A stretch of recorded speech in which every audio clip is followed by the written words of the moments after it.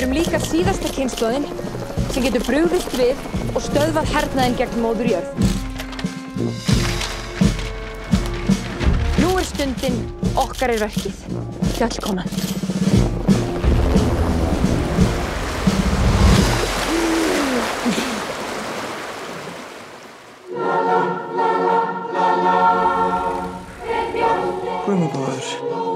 Stúlka. Ef þú ætla ekki að taka við barninu svo þurfum við að finna aðra aðlega. Bara svo margt breyst.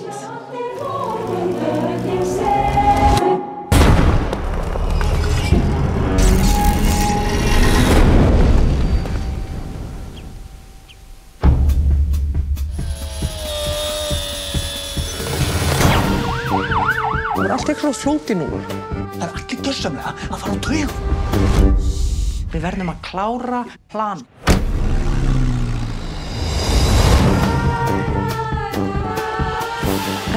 Ekki að bjarga einu barni og þar með vonandi öllum heiminum?